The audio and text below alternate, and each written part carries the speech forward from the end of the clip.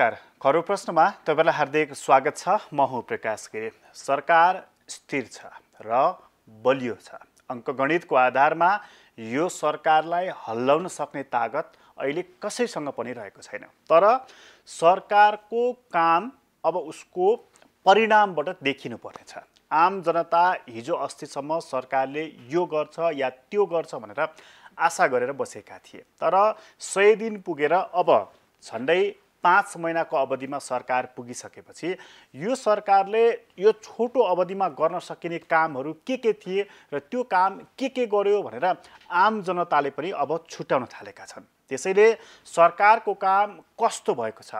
सरकार कुन दिशातर्फ अघि बढिरहेको छ? एउटा बहसको विषय बनिरहेको छ।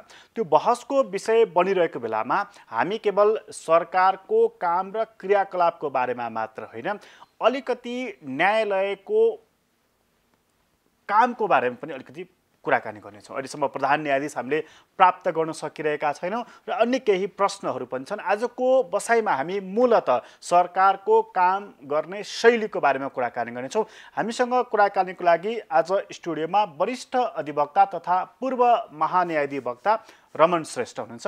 स्वागत छ तपाईँलाई। धन्यवाद। त्यो सय दिन पनि काटिसक्यो। अब त सरकारको बारेमा चाहिँ विभिन्न कोणबाट बहस विश्लेषण हुन थालेको छ। हुन त यो पाँच वर्षीय सरकार हो। र पनि अब सय दिन काटिसकेपछि बहस विश्लेषण हुनु त स्वाभाविक नै हो। तपाईँले हेर्दाखेरि चाहिँ करिब पाँच महिनाको अवधिमा टेकिरहेको यो सरकारको काम चाहिँ कस्तो लागिरहेको छ? अब यस्तो छ हेर्नुहोस् यो सरकार भने चाहिँ कस्तो हुन्छ भने सरकार बनिसकेपछि भनौँ जनताले आशा गर्ने जस्तो निर्वाचन भयो निर्वाचनमा धेरै कुराहरू। भएको थियो। अ, त्यो घोषणापत्रहरू प्रतिबद्धता पत्रहरू चाहिँ जारी भएको थिए त्यो भइसकेपछि त्यसमा के कार्यान्वयन गर्नको लागि कार्यक्रम के आयो? त्योतिर के पहल भएको छ? होइन? त्यो सबै कुरोको अब मूल्याङ्कन चाहिँ हनिमुन पिरियड सिद्धिसकेपछि सुरु हुन्छ हेर्नुहोस्। होइन? प्रश्नहरू उठ्छन्।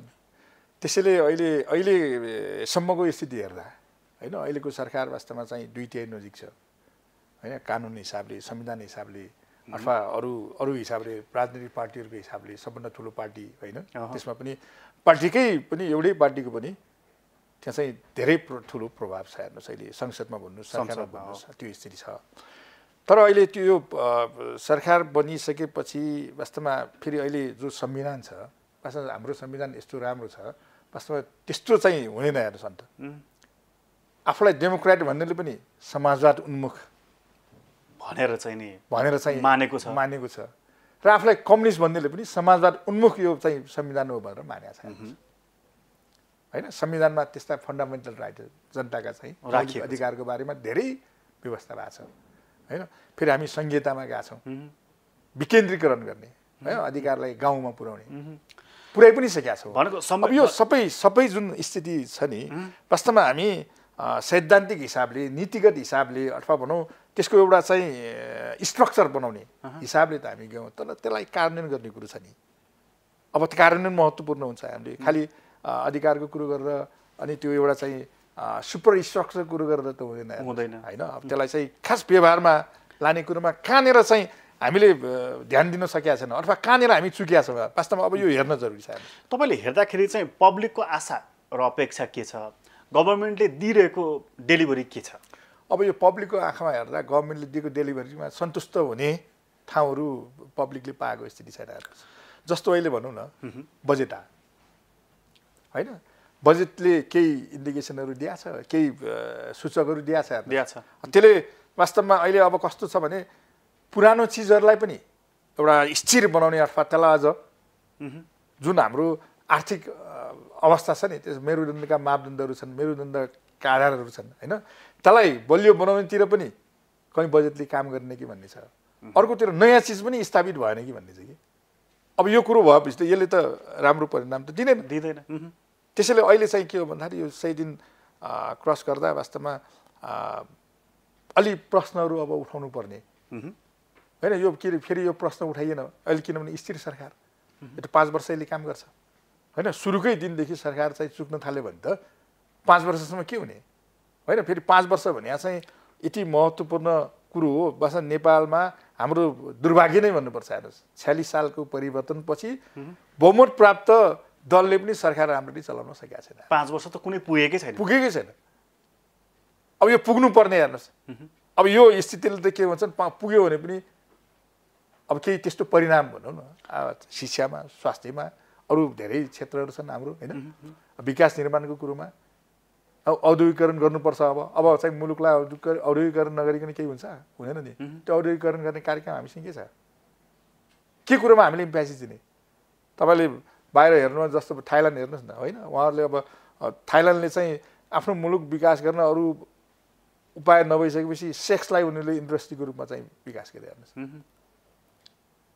सेक्सलाई इन्डस्ट्रीको रूपमा चाहिँ विकास गर्न हाम्रो मुलुकमा त सम्भव छैन नि। हामीले सक्न पनि सक्दैनौँ। तर उनीहरू गरे नि। यति चाहिँ उनीहरूले चाहिँ अब त्यो त्यसको माध्यमबाट मुलुकलाई चाहिँ एउटा भनौँ न समृद्धितर्फ लानलाई चाहिँ प्रयास गरिरहेछ। भनेको यो सरकारले पनि एउटा प्राथमिकता तय गर्नु प्राथमिकता तय गरौँ वान टू थ्री फोर के बजेटमा पाँच लाखलाई रोजगारी दिने भनेको चाहिँ बोलेको देखियो। औद्योगिकरणतर्फ जान्छौँ भने पनि देखियो। तर प्राथमिकता के हो र कसरी औद्योगिकरण हुन्छ भन्ने कुरा चाहिँ मौन देखियो होइन? त्यही त अब पाँच लाखलाई रोजगारी त दिने हो कि? के के गरेर दिने? चाहिएन वान टू थ्री फोर अब के बनाउने हामीले? होटेलमा लगानी गर्ने हो कि? कुनै त्यस्तो कुनै विषयको चाहिँ इन्डस्ट्रीलाई चाहिँ दिने हो कि कृषिलाई दिने हो कि पर्यटनलाई दिने हो कि। चाहियो नि त्यो त प्रायोरिटी। स्पष्ट लक्ष्य एकदम लक्ष्य त टार्गेट एकदम टार्गेट क्लियर हुन जरुरी छ हामीले के भन्यो भने चुनाव ताका नै चाहिँ हाम्रो प्रधानमन्त्रीलाई उहाँ चाहिँ स्वप्नशील हुनुहुन्छ र अलिकति भिजनरी हुनुहुन्छ सपना पनि अलिक ठुल्ठुलै देख्नुहुन्छ भनेर। चुनाव ताका भनेको कुरा चाहिँ आज मिथ्या रहेछ झुटो रहेछ भन्ने ठाउँमा आइपुग्यौँ। त्यसो त नबनिहाल्यो होइन? त्यस्तो चाहिँ होइन। तर कुरो के भने अहिले हामी धेरै ठुला कुरा गर्ने भन्दा? बेसिक कुराहरू। हामी बेसिक कुरोमा चाहिँ पहिला चाहिँ ध्यान दिन थाल्नु पऱ्यो कि? आफैले ध्यान दिनु पऱ्यो फेरि दिनु पऱ्यो नि। अब ठुला कुरो गरेर किन? अब तपाईँ उद्योग खोल्ने भन्ने साथ पैसा चाहियो नि। पैसा चाहिँ भारतले दिने कि चिनले दिने कि अर्काले अर्काले दिएको पैसाले कहीँ कसैको मुलुक बनिएको छ हाम्रो हाम्रो पनि बन्दैन। बन्दैन। हामीले नै गर्ने हो नि त्यो। हामीले त फेरि यो रेल पनि पानी जहाज पनि सुरुङ पनि कि भारत कि चिन यी दुइटाले बनाइदिन्छ। जस्तो चिनबाटै फर्केपछि प्रधानमन्त्रीको भनाइ के थियो भने रेल कसले बन बनाइदिन्छ प्रधानमन्त्री चाहिँ भन्दा? जोसँग पैसा छ त्यसैले बनाइदिन्छ भन्नु उहाँले। यस्तो छ कि यो त कस्तो हुन्छ भने उही हाम्रो एउटा गाउँमा उखान छ कि बुढापाकाले हात के अरे घाँटी हेरेर चाहिँ हार्डने हाड निन्ने भन्छ हेर्नुहोस् अब हाम्रो घाँटी चाहिँ कस्तो छ? त्यो घाँटीमा कत्रो हातलाई चाहिँ प्रवेश गराउने भन्ने कुरो हो। अब त्यसले के गर्छ? त्यसले चाहिँ मान्छेलाई एउटा निराश हुने सिवाय अरूको कुरो दिन्न हेर्नुहोस्। भनेको बेसिक बेसिक। बेसिक कुरो हेर्नुहोस्। हामी अहिले हामी बेसिकमै छौँ हेर्नुहोस्। तपाईँ अहिले भन्नुहोस् न हामी कृषिलाई चाहिँ अलि महत्त्व दिनु भने कृषिलाई दिउँ न। त्यसलाई एक नम्बरमा राखौँ। पर्यटनलाई दियौँ भने पर्यटनलाई गरौँ। उद्योगलाई दिने भने उद्योगलाई दिउँ। अथवा अरू के हो? होइन? अब त्यसरी चाहिँ हामीले इम्प्यासिस दिएर चाहिँ कार्यक्रमहरू तय गरेका छैनौँ अनि त्यो कार्यक्रमै तय गरेका छैनौँ भिजन नै क्लियर भएको छैनौँ कहाँ पुगिन्छ? अहिलेको जमानामा योजना नभइकन योजनाबद्ध रूपले जानुपर्ने जरुरी छ। योजना त चाहियो नि। One two three four five अहिले अहिले हाम्रो सरकार जसरी हिँडिराखेको छ हिँड्दै जाँदाखेरि अर्को सालसम्म कहाँ पुग्छ यो? अब ठ्याक्कै अब यो त धेरै भविष्यवाणी गर्न सक्ने स्थिति त होइन तर त्यति अहिले अहिले चाहिँ जुन किसिमले चाहिँ जो कामहरू अगाडि बढाएको छ त्यसले धेरै राम्रो परिणाम दिन सक्ने स्थिति देखिँदैन हेर्नुहोस् उसले हिजो दिएको अघि त मैले चुस्स भन्नुभएको थियो कि चुनाव ताका र अन्य समयमा पनि दिएको उसको आश्वासनहरू हामी वृद्धहरूलाई यति पाँच हजार बढाइदिन्छौँ यो गर्छौँ त्यो गर्छौँ ठुल्ठुला ऊहरू जुन थिए नि आश्वासनहरू। अहिले के त्यसपछि उसले आफैले दिएका आश्वासनहरूको भारले उसैलाई किचिराखेको छ? होइन गलत आश्वासन कहिले पनि दिन हुन्न हेर्नुहोस् गलत मान्छेलाई पनि गलत दृष्टिकोणलाई पनि बोक्न पनि हुन्न हेर्नुहोस् त्यसको परिणाम आइहाल्छ जस्तो जस्तो। धेरै कुरोहरू छ नि हामीले देखिरहेछौँ नि। होइन?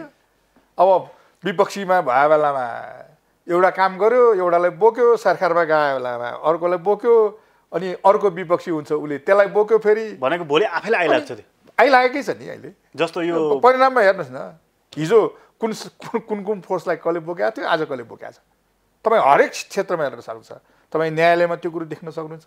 उद्योग व्यवसायमा त्यो कुरो देख्न सक्नुहुन्छ। डक्टरमा त्यो कुरो देख्न सक्नुहुन्छ। इन्जिनियरमा त्यो कुरो देख्न सक्नुहुन्छ। वकिलहरूमा त्यो कुरो देख्न सक्नुहुन्छ। हेर्नुहोस्।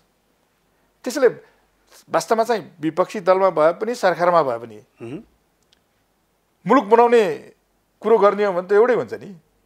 फरक हुन्छ। हामी कहाँ चाहिँ परिवर्तन हुन्छ होइन? यहाँ त कस्तो भन्दाखेरि सरकारमा भए बेला एउटा कुरो गर्ने विपक्षी दलमा भए बेला अर्को कुरो गर्ने। यही मेडिकल शिक्षाकै कुरा गर्ने हो भनेदेखि हिजो डाक्टर केसीलाई एउटा पक्षले समर्थन गर्यो। गरेको थियो।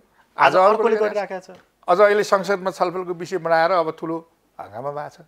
तपाईँहरूले डक्टर गोविन्द केसीको कुरो गर्नु छ भने डक्टर गोविन्द केसीको कारणले मुलुकबाट कति पैसा बाहिर गएको छ भनेर कसैले हिसाब किताब राखेको छ? मेडिकल कलेजहरूको स्थिति के भएको छ? भएको कलेजहरूलाई सक्षम बनाउने पूर्वाधारयुक्त बनाउने। अझ नेपालीले मात्रै नभएर विदेशीले पनि पढ्न आउन आउने बनाउनु पर्ने ठाउँमा हामी के गरिरहेछौँ होइन भए कलेजहरूको सम्बन्धन खारेज गर्ने? त्यसपछि नेपालीहरूले नेपालमा मेडिकल साइन्सको अब डक्टरको भनौँ पढ्ने न नसक्ने अथवा पढ्ने एउटा इन्भाइरोमेन्ट नबनाउने ठाउँमा पुगेका छौँ हामी। र हरेक देशले एउटा वास्तवमा चाहिँ त्यही भएर मैले भिजन साइड आउनुपर्छ भने हामीले के कुरोमा ध्यान दिने? हामी कहाँ हेर्नु चाइना र इन्डिया यति ठुला ठुला देश छन् जसको चाहिँ के छ भन्दाखेरि भनौँ न हामीले पचास हजार मान्छेलाई हामीले नेपालमा पढाउने व्यवस्था गऱ्यो भने के हुन्छ? यो डाक्टर केसीको हकमा चाहिँ सरकार ठिक छ कि विपक्ष ठिक छ जस्तो लाग्छ? दुइटै ठिक छैन। ए दुइटै ठिक छ दुइटै ठिक छैन। सरकार पनि ठिक छैन? गोविन्द केसीले अनसन गरेपछि सरकारले खुरुखुरु सम्झौता गर्छ हेर्नुहोस्। हुने कुरो पनि गरिरहेको छ नहुने कुरो पनि गरिरहेको छ अनि विपक्षी दलमा गएपछि त्यसले अर्कै कुरो गरिरहेको छ हेर्नुहोस्। यस्तो कुरो हुनुहुन्न के? अँ, त्यो त सही हो स्थिर हुनु पर्यो नि। सही हो भने जति बेला पनि सही जति बेला पनि सही हुन्छ हेर्नुहोस्। अब सरकारमा भए बेला गोविन्द केसी बेठिक हुने। अनि विपक्षी दलमा पुगेपछि गोविन्द केसी ठिक हुने। यो कहाँको यो के मापदण्ड हो यो भने? यो यसरी हाम्रो राजनीतिक दलहरूलाई चाहिँ तपाईँ चाहिँ महान्यायाधिवक्ता भएर पनि एकचोटि काम गरिसक्यो हुनाले चुरो कुरो थाहा हुन्छ नि त्यस्तो भएन। यसरी घुमाइदिने यो चाहिँ मजाले खेलाइदिने चाहिँ अहिले जुन चर्चामा रहेको छ नि यो मार्सी चामलको भात भनेर खुब चर्चामा आइरहेको छ नि यस्तै कुराहरूले हो कि अरू केही कुराहरूले हो? यहाँ चाहिँ नेपालीको दिमाग मात्र पनि छैन यसमा। यो यो यो मुलुकलाई हामीले हाम्रो मुलुकमा चाहिँ स्थिरतै स्थिरता चाहिँ हुनै नदिने एउटा शक्ति क्रियाशील छ हेर्नुहोस् त्यो हरेक अब कुनै बेलामा के कुरोलाई उसले उचाल्छ हेर्नुहोस् कहिले पोलिटिकल कुरोलाई उचाल्छ उसले? यो यो बाह्य पक्ष। एकदम नेपालीको दिमागै छैन भने। नेपालीको दिमाग मात्रै छैन। ए राजनीतिक पक्षमा मात्र होइन। होइन धेरै कुरोमा। अब अब अहिले राजनीतिक स्थिरता बल्ल हुन थालेको छ। अब अर्को कुरो उठाइदिने यहाँ। हेर्नुहोस् मान्छे मान्छेलाई डाइभर्ट गर्ने क्या। हेर्नुहोस्। अनि फेरि हामी नेपालीहरू कस्तो छौँ? डाइभर्ट भइहाल्छौँ यो मेडिकल शिक्षाको सन्दर्भमा पनि यहाँ पनि हुनसक्छ बाह्य पक्षका। छ नै। हुनसक्छ होइन छ नै भन्नुहोस् न। त्यही भएर चाहिँ के छ भन्दाखेरि राजनीतिक दलहरूले वास्तवमा बुद्धि विवेक पुर्याउनु जरुरी छ। कुनै पनि विषयको कुनै पनि विषयमा समर्थन वा विरोध गर्दा। हामी कहाँ चाहिँ यो तपाईँले भन्नुभयो नि कि धेरै पक्षमा चाहिँ बाह्य पक्षको हात हस्तक्षेप रहन्छ भनेर होइन? हस्तक्षेपकै त हक होइन त? यो पूर्वाधार विकासको सन्दर्भमा पनि एकदम। तपाईँ हेर्नुहोस् धेरै ठाउँमा चाहिँ ठुलो बाटो बनाउनु दिएको छैन हेर्नुहोस्। ठुलो बाटै बनाएको छैन। तपाईँ भन्नुहोस् न मुगलिङ नारायणघाटको बाटो यति सहिलो रहेछ। यो अहिले दक्षिण कालीबाट हेटौँडा जान त्यति नजिक रहेछ। सिन्धुली बर्दिवासको बाटो जान त्यति नजिक छोटो रहेछ। तर हामी कहाँ चाहिँ बाई रोड बनिएको थियो नि होइन? कस्तो बाटो कति सालमा बनाएको थियो भन्नुहोस् त कसले बनायो? किन हुन्न? अहिले तपाईँ भन्नु यही यही अहिले सिन्धुली बर्दिवासको जुन बाटो छ यसलाई ठुलो किन बनाइएन? त्यो ठुलो बनाउन असम्भव भएर नबनाइए होइन नि। इन्ट्रेस्टकै कारण हो। इन्ट्रेस्टकै कारण पनि। अहिले तपाईँ अहिले ऊ भनौँ न अहिले दक्षिणकालीकै बाटो भन्नुहोस् न त्यसलाई ठुलो बनाउन सम्भव छैन? अहिले हामी जुन फास्ट ट्र्याकको कुरा गरिरहेको छौँ होइन यहाँबाट निजगढसम्म जाने कुरा चाहिँ चार वर्षसम्म बन्ने भनेर कतिपय मानिसहरू शङ्का व्यक्त गर्छन्। तर त्यो सँगै रेल आउने कुरा छन् जस्तो हाम्रो प्रधानमन्त्री भारत गइसकेपछि त्यही छेउछाउबाट चाहिँ रेल काठमाडौँसम्म पनि आइपुग्ने भनेर। अब त अगाडि बढ्ने भयो त्यसो भएदेखि होइन? यस्तो छ। हेर्नुहोस् फास्ट ट्र्याकको पनि हेर्नुहोस् नेपालले बनाउने मात्र उद्घाटन गरियो त्यसको कति अब्स्टाकल आएको छ? अझ फेरि फास्ट ट्र्याकको कुरो गरेर बडो अचम्मको छ हेर्नुहोस्। सर्वोच्च अदालतमा मुद्दा परेको थियो। र एउटा कम्पनीलाई चाहिँ ठेक्का दिएको थियो। त्यसको त्यो लगानी पनि नेपालले गर्ने। हेर्नुहोस् है। लगानी नै गर्दाखेरि चाहिँ त्यो जुन कम्पनीले चाहिँ ठेक्का पाएको थियो त्यसले झन्डै झन्डै पचास अरबभन्दा बढी त त्यो त्यो ठेक्कैमै उसले नाफा गर्थ्यो हेर्नुहोस् त्यसपछि त्यो त्यो बाटोमा चाहिँ हरेक मिनट मा अठाइसवटा चाहिँ ट्याक्सी चल्नु पर्थ्यो। हरेक मिनट। यदि त्यो अठाइसवटा ट्याक्सी चढेन भने जति कम चल्छ त्यसको पैसा त्यो रोयल्टी त्यसलाई तिर्नुपर्ने गरेर सम्झौता गरेको थियो सरकारले। हरेक मिनट भने नि तपाईँ घन्टाको कुरो होइन। अठाइसवटा ट्याक्सी चल्नुपर्ने एउटा एक मिनटमा। एक मिनटमा ट्वेन्टी फोर 28 आवर्स र जति त्यो अठाइसवटा चलेन भने त्यो नचल्या चाहिँ पैसा त्यो कम्पनीलाई चाहिँ रोयल्टी तिर्ने गरेर चाहिँ एग्रिमेन्ट गरेर थियो। हेर्नुहोस् सर्वोच्चमा मुद्दा पुरै रोक्यो। पछि नेपालले नि बनाउने भनेर भन्यो अब त्यसमा धेरै अब्स्टाकल आएको छ। त्यो पनि फेरि विदेशीकै कारणले हेर्नुहोस् त्यो कुनै प्रत्यक्ष आउँछ कुनै अप्रत्यक्ष आउँछ। त्यसैले हामीले एउटा सोच्न जरुरी के छ भन्दाखेरि हामीले अहिले ठुलो कुरो गरेर केही हुने स्थिति नै छैन।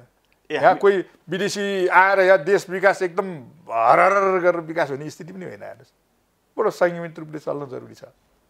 योजनाबद्ध रूपले चल्न जरुरी छ। भनेको पहिला बेसिक कुराहरू नै। पुरा गर्न त एकदम। बेसिक कुरा ठुला कुरा नगरिकन हाम्रो आवश्यकता के हो? हामीले पहिचान गरौँ। के कुरोमा हामीले इम्प्यासिस दिनु? तपाईँले यो भनेको कुरा अहिले हाम्रो सत्ता सञ्चालकहरूलाई रुच्छ चित्त बुझ्छ। होइन सत्ता सञ्चालनलाई रुच्ने र नसुच्ने एउटा विषय हो। वास्तविकता त अर्को हुन्छ नि। तपाईँ जमिनमा टेक्नु पऱ्यो नि आकाशमा उडेर कति न उड्नुहुन्छ तपाईँ? तर अलिक परिस्थिति बदलेको चाहिँ हाम्रो प्रधानमन्त्रीले पानी जहाज चढ्ने निम्ता दिइसक्नु भएको छ। अब- चढौँ भनेर। ठिक हो त्यो अब निम्ता त दिए पनि हुन्छ। होइन अब सपना त उही लक्ष्मीप्रसाद देवकोटाले भन्नुभएको जस्तै उडी सुनु चन्द्र। एक भने जस्तै भने रेल तर अब दक्षिणबाट पनि उत्तरतर्फ पनि आउने भएको छ। हेर्नुहोस् यो यो कस्तो हुन्छ भने हेर्नु होला नि त कति वर्ष लाग्छ। आउनु त आउला अब कति वर्षपछि आउने हो। होइन? आज हाम्रो आजको आवश्यकता के हो भने हाम्रो आजको आवश्यकता भने त सडकको खाल्डाखुट्टी पुरियोस्। होइन काठमाडौँको सडकको खाल्दा खुल्टी पुरिएको छैन हामी रेलको कुरो गरिरहेछौँ हामीले रिङ रोड बनाउनु थालेको कति वर्ष भइसक्यो हेर्नुहोस्। त्यही रिङ रोड पनि राम्ररी बन्न सकिरहेको स्थिति छैन। भनेको यस्ता कुराहरूमा चाहिँ नि तपाईँको अघिकै पोइन्टमा म फेरि फर्केर आएँ। यस्ता कुराहरूमा चाहिँ विदेशीहरूको प्रत्यक्ष या अप्रत्यक्ष हस्तक्षेप या प्रभाव या दबाव रहन्छ। भयङ्करै छ। हाम्रो सडक नबन्नुमा नै रहन्छ। अब किन? तपाईँ अहिले भन्नुहोस् न लोड सेडिङ अहिले मुक्त भयो होइन? हो। लोड सेडिङ किन भएको थियो?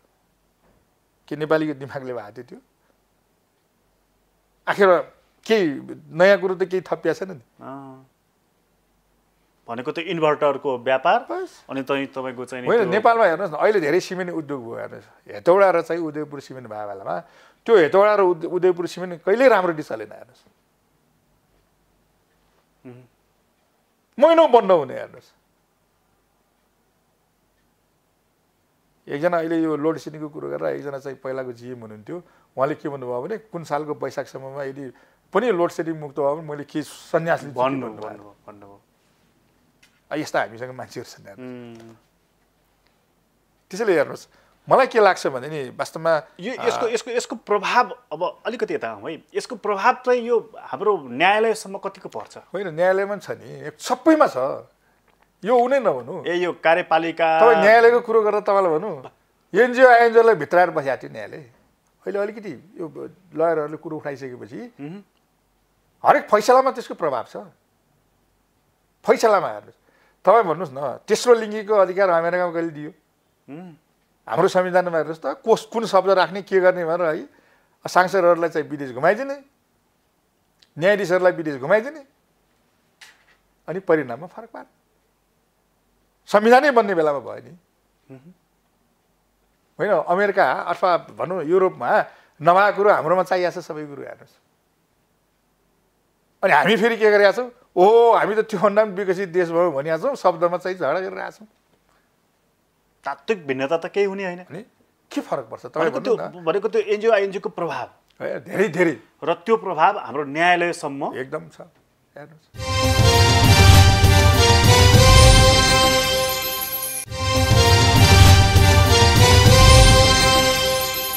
न्यायालयमा अर्को एउटा कुरा पनि के चलिराखेको छ भन्नुहुन्छ भने अब यो चाहिँ कति बहस गर्न मिल्ने कति नमिल्ने त्यो एउटा अलगै कुरा होला। तर मलाई सोध्न मन लाग्यो तपाईँसँग चाहिँ कि मानिसहरू के भन्छन् भने अचेल चिया गफमै पनि यसो बस्दाखेरि पनि यतिकै कि ए फलानु मुद्दाको यति पैसा फलानुको यति पैसा भनेर पैसाकै कारोबार गरेर न्यायको क्रय विक्रय हुन्छ खरिद बिक्री हुन्छ भनेर भन्न थालेछन्। यस्तो हुन्छ?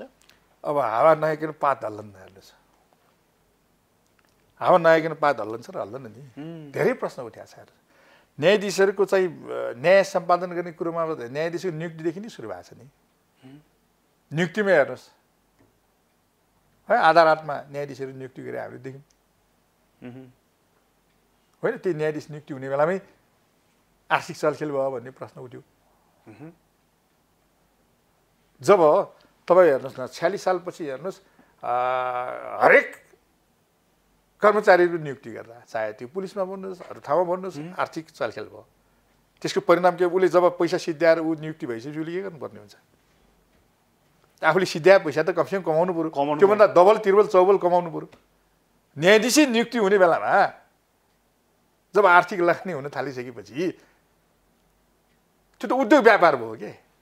लगानी गर्ने अनि त्यसबाट नाफा कमाउने। फेरि यहाँ बडो अचम्मको कुरो तपाईँलाई एउटा भनौँ। त्यो फेरि जो न्यायाधीश नियुक्ति हुन्छ उसले त्यो लगानी गर्नु नपर्ने फेरि। अर्कै हुन्छ त्यहाँ लगानी गर्ने। ए उनी त कोट लाएर बस्ने मात्र। बस त्यहाँ लगानी गर्ने अर्कै छ। हेर्नुहोस् त्यो अख्तियारमा नियुक्ति गर्दा त्यही हुने। न्यायाधीश नियुक्ति गर्दा त्यही हुने हेर्नुहोस्। त्यस्तो प्रश्नहरू उठिसकेपछि अनि त्यसले त्यसको कार्य सम्पादनमा त्यसले फरक पारे हुन्न? अहिले त लामो समयदेखि हाम्रो प्रधान न्यायाधीशै रिक्त हुनुहुन्छ। बल्ल अहिले प्रोसेस चलिरहेको छ। यसको असर केही पर्दैन। होइन किन परेन? तपाईँ संविधानमा हेर्नुहोस् एउटा एउटा चाहिँ तपाईँ म एउटा भनौँ छ्यालिस सालपछि सडचालिस सालमा संविधान आयो। संविधान आइसकेपछि त्यो संविधानलाई यसरी भकुन्डो खेला जस्तो खेले दलहरूले।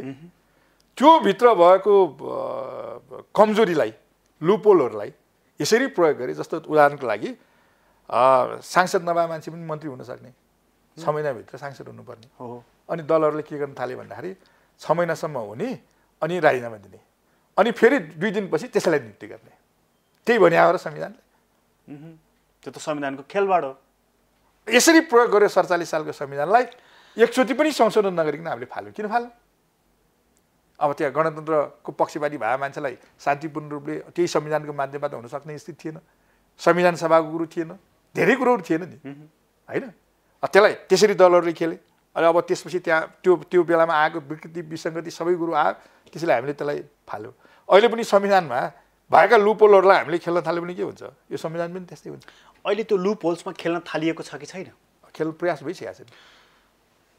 प्रयास भइसकेको छ। भइसकेको छ। यसले यसले अन्तत संविधानमाथि होइन नै अन्त त त्यही हो। यहाँ चाहिँ त्यही त मैले भन्थेँ नेपालीको दिमाग मात्रै छैन।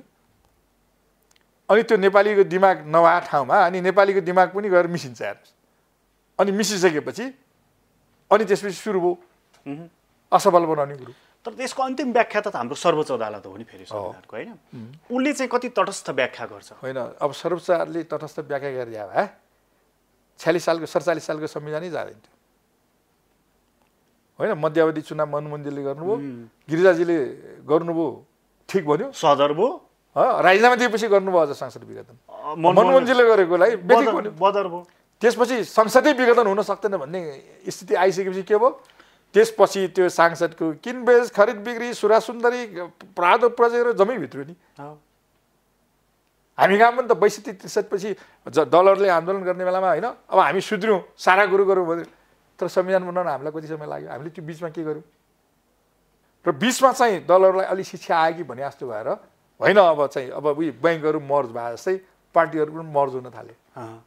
एउटा स्थिति त आएको छ। तर अब त्यो खालि शक्ति मात्रै ठुलो हुने काम भयो कि? त्यसले दिने पर्फर्मेन्स हो नि। यहाँ त अहिले सरकारको मूल्याङ्कन गर्ने कुरो त पर्फर्मेन्समा हो नि गफमा होइन नि। होइन। कत्रो दल छ भन्ने कुराको हो। मतलबको विषय नै होइन नि। यहाँ सबभन्दा भन्नुहोस् न अहिले भए सांसद जम्मै चाहिँ एउटै दलको भयो भने जनतालाई के फरक पर्छ? यदि डेलिभरी भएन भने के मतलब उसले दिने त जनताको सर्भिस हो नि। भनेको यो हाम्रो संविधानको लुप होल्समा चाहिँ अहिले खेल्न थालिसक्यो। सुरु भइसक्यो। सुरु भइसक्यो। सुरु भइसक्यो। एउटा प्रश्न यहाँ उठिराखेको छ नि कि जस्तो यो एउटा साधारण जस्तो लाग्छ यो प्रश्न तर उठेको प्रश्न चाहिँ सभामुख र उप उपसभामुख चाहिँ एउटै राजनीतिक दलको हुनु हुँदैन भनेर संविधानमा लेखिया पनि छ होइन? यो विषय पनि बडा विवादको विषय भनेको छ। यहाँनिर चाहिँ संविधानले भने के र राजनीतिक तर्क वितर्क के हो यो? अब यस्तो छ हेर्नुहोस् यो वास्तवमा चाहिँ संविधान बनाउने बेलामा पनि वास्तवमा त्यो ध्यान दिन जरुरी छ अब सुरुमा सभामुख र उपसभामुख हुँदा जो जुन निर्वाचन गरिन्छ नि त्यो बेलामा चाहिँ एउटै दलले दुइटै पदमा उठाउन नपाइने व्यवस्था गर्यो। भइसकेपछि फेरि त्यो दलको राजीनामा दिनुपर्ने व्यवस्था छ हेर्नुहोस् न। अब दलको छैन सभामुख र सभामुख।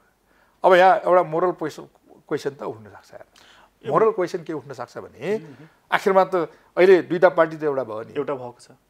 होइन? आखिरमा एउटा भइसकेपछि उहाँहरू कुनै न कुनै रूपमा त्यसप्रति लोयल हुने स्वाभाविक हो। त्यो कुरोलाई दलहरूले कसरी हेर्ने? कस्तो सिस्टम बसाउने भन्ने कुरोमा त्यो डिपेन्ड हुन्छ कि? विचारमा कस्तो प्रेसिडेन्ट कस्तो बसाउनु? कस्तो सिस्टम बसाउने?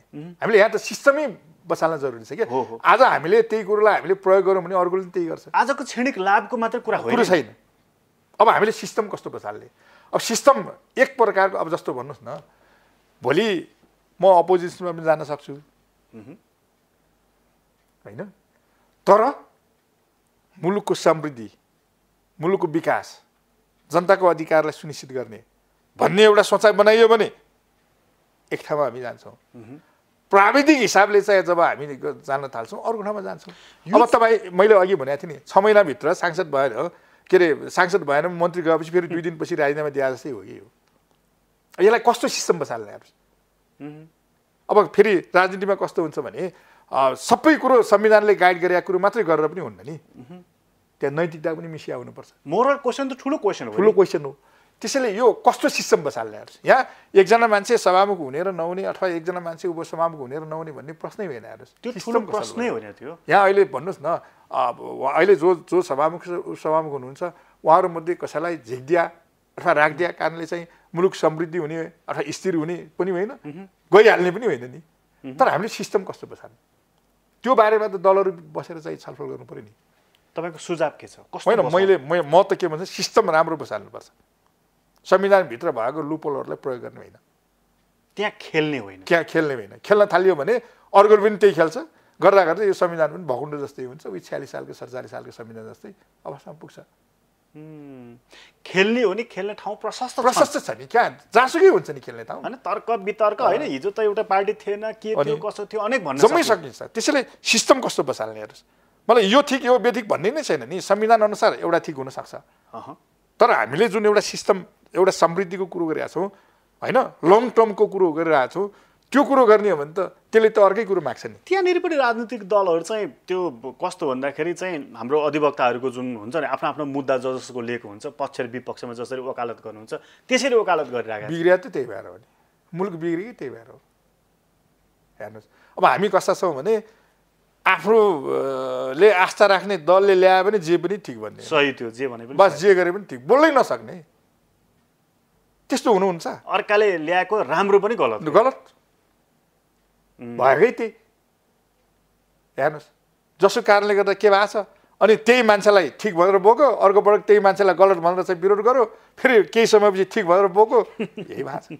आधा जिन्दगी त त्यसैमा जाने भएकै त्यही छ नि। अहिले तपाईँ भन्नु गोविन्द केसीकै कुरो तपाईँले भनिहाल्नु भयो नि। हिजो एउटाले बोकेको थियो अहिले अर्कोले बोकेको छ। अब अर्को पटक अर्कोले बोक्छ हेर्नुहोस्। अनि त्यो बोक्दा बोक्दै चिज बिग्रिसकेको हुन्छ हेर्नु सही के हो भन्ने कुरो त जनतालाई छुट्याउन गाह्रो भयो नि। तपाईँ अब तपाईँ र मैले छलफल गर्दा गोविन्द केसी ठिक कि बेठिक त मैले हिजो पनि बेठिक भनेको थिएँ आज पनि बेठिक भन्छु। हेर्नुहोस्। तपाईँ आर्थिक हिसाबले हेर्नुहोस् मुलुकलाई चाहिँ फाइदा गर्ने हिसाबले हेर्नुहोस्। हामी कहाँ भएको चिज तपाईँ भन्नुहोस् न। तपाईँ सक्षम भयो भने न तपाईँले चाहिँ पर्फर्मेन्स राम्रो दिन सक्नुहुन्छ। हो।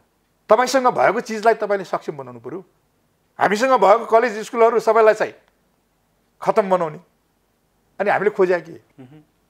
फेरि यसमा यसमा अर्को पाटो पनि जोडिया छ होइन? हाम्रो चाहिँ मान्छे भनेको प्लस टू गर्ने बित्तिकै अस्ट्रेलिया जाने कि क्यानाडा जाने भनेर त्यसले हिसाब किताब गरेर बस्छ। अब बस्ने नेपालमा बस्ने स्थिति छैन गर्नु चाहिँ अनि हामी यहाँ लडाइँ चाहिँ के गरिराखेका छौँ भन्दाखेरि चाहिँ नि यसलाई राम्रो बनाउने के गर्ने कसो गर्ने भनेर होइन? होइन अब भन्नुहोस् न पढ्न पढ्ने गाह्रो छ। पढिसकेपछि काम पाउने गाह्रो छ। काम पाइसकेपछि त्यो कामलाई कन्टिन्यू गर्ने गाह्रो छ। मतलब त्यो इन्भाइरोमेन्ट त गभर्मेन्टले दिनु पर्यो त्यो राजनीतिक दलहरू दिनु पर्यो नि। अहिले चाहिँ अब जस्तो दुईवटा पार्टी एउटा दुईवटा वाम पार्टी मिलेर एउटा ठुलो पार्टी बनिसकेपछि हिजोको जस्तो किचिर मिचिर आठ महिने नौ महिने बाइस महिने सरकारबाट अब पाँच वर्षको स्योर सर गभर्मेन्ट बनिसकेपछि एउटा आशा जागेको छ। होइन आशा पर्याप्त जागेको छ नि। होइन अब स्थिर सरकार हुने भयो। होइन मत किन दिए जनताले भन्नुहोस् त? स्थिर सरकार स्थिर सरकारकै लागि दिया हो नि। त्यो स्थिर सरकार भएपछि केही हुन्छ भन्ने आशा गरेर दिया हो नि। त्यो शासकीय जुन ऊ छ नि कि प्रवृत्ति त्यसमा चाहिँ कति परिवर्तन पाउँछ होइन हाम्रो यस्तो भयो कि हाम्रो कस्तो भन्दाखेरि यो कहिलेकाहीँ मैले भन्ने गर्छु कि हाम्रो देउतालाई पनि घुस नभइकन नहुने चाहिँ कि। लड्डु चढाउनु पर्ने के चढाउनु पर्ने हेर्नु अब त्यस्तो संस्कारबाट आयो कि हामी। अब हाम्रो धर्मशास्त्र हेर्दा हेर्नुहोस् महाभारतमा होइन युधिष्ठिरदेखि लिएर धर्मराज भन्नेहरूले गरेका कुराहरू होइन? रामायणमा चाहिँ रामचन्द्रको रामकै कुराहरू होइन? बडो अचम्मको छ कि? त्यसैले हाम्रो चाहिँ अब ती सबै कुरोहरू भए पनि हामीले गर्नुपर्ने कुरो के थियो? वास्तवमा चाहिँ जस्तो भन्नुहोस् न हामीले कहिलेकाहीँ भन्छौँ नि महाथिर फेरि आए। कति वर्षपछि रिटायर भएर आफ्नै पार्टीको विरुद्ध फेरि चुनाव लडेर सरकार गठन गर्न पर्ने स्थिति भयो। किन भयो भन्नुहोस् न? किन भयो अब जब उहाँले छोड्नुभयो अमेरिकालाई च्यालेन्ज गर्ने तागत थियो उहाँसँग हेर्नुहोस्। मुलुकलाई त पुर्याउनु भयो नि। हामी कहाँ चाहिँ फेरि त्यही कुरालाई नजिर बनाएर अचेल तर्क गरेको सुनिराखेको छु। मैले तपाईँको कानसम्म पुग्यो होला भन्छु कि महातिर त भए बयानब्बे वर्षको। हामी कहाँ चाहिँ सत्तरी पचहत्तरकोलाई बुढो बुढो भन्छन् भनेर। नेताहरूले तर्क गरेको होइन माथिर बाध्यात्मक स्थितिमा आयो। हामी कहाँ त्यो होइन नि। उहाँले शासन गर्दा एउटा पर्फर्मेन्स दिनुभएको थियो। होइन? एक ठाउँमा पुर्याउनु भयो नि अब म अब राजनीति गर्दिनँ है। पुग्यो मलाई। उहाँले विश्राम लिनुभयो। उहाँले विश्राम लिएको केही दशकमा मुलुकमा भ्रष्टाचार बढ्यो होइन? अस्तव्यस्त भयो। त्यसपछि फेरि अर्को पार्टी आफ्नै आफूले नै छोडेका पार्टी आफूले नै खडा गरेका पार्टी आफ्नै लागेका पार्टीको विरुद्ध मोर्चा बनाएर उहाँ अगाडि आउनु भयो हाम्रोमा त्यस्तै हो र। हामी कहाँ चाहिँ उमेरको हिसाब गरिन्छ होइन? उमेरको सक्छन् हुन्छ होइन उमेर चाहिँ महत्त्वपूर्ण होइन आएर खालि मैले भन्न खोजेको कुरो भिजन दृष्टिकोण भिजन चाहिँ प्रश्न। हामी कहाँ पनि प्रधानमन्त्रीले भने सुन्छु म कि यो भ्रष्टाचार चाहिँ शून्य सहनशीलता मलाई पटक्कै सुन्न नि चाहन्न भनेर होइन? मतलब एउटा छनक आइरहेको छ। त्यस्तो देखिन्छ। तपाईँ पत्रकारहरू टिक्नु भएको छ? हेर्नु त्यही भएर चाहिँ एउटा कुरो के हो भन्दाखेरि होइन भ्रष्टाचार त आखिरमा त्यो त क्रोनिक हो हेर्नु त्यसले कुनै चिज पनि तपाईँको राम्ररी अगाडि जान सक्ने। भ्रष्टाचारको चाहिँ तपाईँले हेर्दाखेरि चाहिँ समस्या तल्लो तहमा हो कि माथिल्लो तहमा? सबै तहमा। व्याप्तै छ नि। सुधार कहाँबाट गर्ने? सुधार माथिबाट गर्नु पर्यो। संरक्षण तलबाट सुधार सुधार गरेर हुँदै त्यो भ्रष्टाचारीलाई खास गरी नीतिगत भ्रष्टाचार त अझ ठुलो भ्रष्टाचार नि होइन? हो। त्यस्तोलाई संरक्षण कसले गर्छ? कसले गर्ने? अब यो संरक्षण त माथिबाट नगरिकन त को बाँच्छ यहाँ? त्यसो भए हुनाले यो के हो भन्दाखेरि एउटा एउटा कार्यक्रमसहित आउनु पऱ्यो कि? चाइनामा तपाईँको हेर्नु चाइनामा के गर्दो रहेछ भने म चाइना एज एटोर्नी जेनरल भएको बेलामा गएको थिएँ। उनीहरू भ्रष्टाचारको मुद्दाहरू उनीहरूले चाहिँ ओपन डिस्कस गर्दो रहेछ। एकदम पब्लिकली छलफल गराउने हेर्नु अनि त्यहाँ त्यो त्यो हो भन्ने भएपछि त त्यसको सिद्धियो सबै। लाइफै सक्यो लाभै सिद्धियो। हामी कहाँ त भ्रष्टाचारीको संरक्षण गर्ने अ, काम सेवा अरू हुन्न आफ्नो मान्छे भए पनि संरक्षण गर्ने अर्काको मान्छे भए पनि त्यो भ्रष्टाचारी नभए पनि हो भन्ने। बिग्रेकै यही छ नि। तपाईँ भन्नुहोस् न एकदम डनहरूले चाहिँ धेरै काठमाडौँमा असर गर्यो भनेर भनेको छ। सबै डनलाई कसले कसले बोकाएको छ तपाईँले थाहा पाउनु भएको छ। होइन? सब पार्टीमा तिनको प्रभाव छ। कस्टडीमा गएको दुई घन्टामै छुट्छ। छुटिहाल्छ। अब आफ्नो पार्टीको समर्थन गर्ने डन भयो भने छुटाउने अर्काको पार्टीको समर्थन गर्ने डन भयो भने त्यसलाई चाहिँ गोली हान्ने अथवा थुन्ने अथवा के गर्ने कुरो हुन्छ। अनि त्यसले आखिरमा यदि त्यो गुन्डागर्दी गर्ने मान्छे हो भने त जसको पार्टीको भयो भने त्यसलाई चाहिँ त्यसको विरोध गर्नु पऱ्यो नि। गुन्डा भने त गुन्डै गुन्डै। हो नि। भ्रष्टाचारी भनेपछि त भ्रष्टाचारी। नै हो नि। त्यसमा चाहिँ जस्तो सामाजिक बहिष्कारको कुरा पनि आइरहन्छ नि। जस्तो कानुनले दण्डित गर्ने त एउटा पाटो भयो अब त्यसमा अघि तपाईँले भनिहाल्नुभयो कि न्याय पनि हामी कहाँ खरिद भयो बिक्री भइरहेछ भन्ने कुरा त आइहाल्यो हामीले चर्चा गरिहाल्यौँ। सामाजिक बहिष्कारको पाटोले चाहिँ कति मद्दत गर्छ भ्रष्टाचार? सामाजिक बहिष्कार गर्ने पनि छैन नि इन्भाइरोमेन्ट समाजमा जसको जोसँग पाएको छ त्यसैलाई सबैले मान्ने स्थिति छ कहाँ बहिष्कार गर्ने कुरो छ र है बिहे गर्दा धेरै खर्च गर्ने हो सामा व्रतबन्ध गर्दा खर्च गर्ने अहिले त गर्दा गर्दै के केमा प्रतिस्पर्धा के केमा प्रतिस्पर्धा हेर्नुहोस् राम्रो कुरोमा प्रतिस्पर्धा भएको छैन हिजो जस्तो कति पढाएको छ भनेर सोध्न पनि सोच्दैन अहिले त कति कमाएको छ है गाडी छ कि छैन घर छ कि छैन त्यो ठाउँमा पुगिसक्यौँ हामी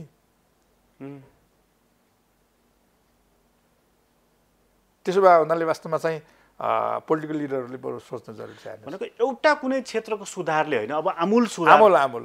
आमूल सुधार तर बेसी कुराहरूमा ध्यान दिनु पऱ्यो। यो आमूल सुधारको लागि त पहिला त नेतृत्व सबैभन्दा पहिला त। तयार हुनु होइन। ठिक, ऊ आफू शुद्ध हुनु पर्यो नि। हो हाम्रोमा कस्तो छ नेतृत्व? होइन अब त्यो त हामीले देखिरहेको परिणामले के देखाएको छ? हामीले त परिणाम खोज्ने हो नि। मुखले त जम्मै शुद्ध छु भनेर भन्छ। कसले म खराब छु भन्छ खराब छु त कसले भन्छ? पर्फर्मेन्स चाहियो कि परिणाम चाहियो हेर्नु हाम्रो परिणाम यो पाँच महिनाकै परिणामको कुरा गर्ने हो भने अहिले मुलुक सञ्चालन त प्रधानमन्त्रीले गरिराख्नु भएको छ। हाम्रो पद्धति त्यही छ। त उहाँले बोलेको कुरा र गरेको काममा कति सङ्गति छ होइन यस्तो छ। अब अहिले चाहिँ सबै ठ्याक्कै त अब एकदम भनिहाल्न सक्ने स्थिति होइन तर अहिलेको जुन गति छ त्यसले चाहेको परिणाम त्यति आइहाल्छ कि जस्तो देखिने सम्भावना कम भएर गएको छ। त्यसैले सुधार गर्न जरुरी छ। हस् यहाँलाई धेरै धेरै धन्यवाद यहाँले पनि मलाई विचार राख्ने अवसर दिनुभयो धन्यवाद आदरणीय दर्शकबिन तपाईँलाई पनि धन्यवाद आज हामीले पूर्व महान्यायाधिवक्ता तथा वरिष्ठ अधिवक्ता रमन श्रेष्ठसँग कुराकानी गरेका थियौँ उहाँसँगको कुराकानी अहिलेलाई यति नै खरो प्रश्नबाट म प्रकाश गिरीलाई बिदा दिनुहोस् माउन्टेन टेलिभिजन हेर्दै गर्नुहोला नमस्कार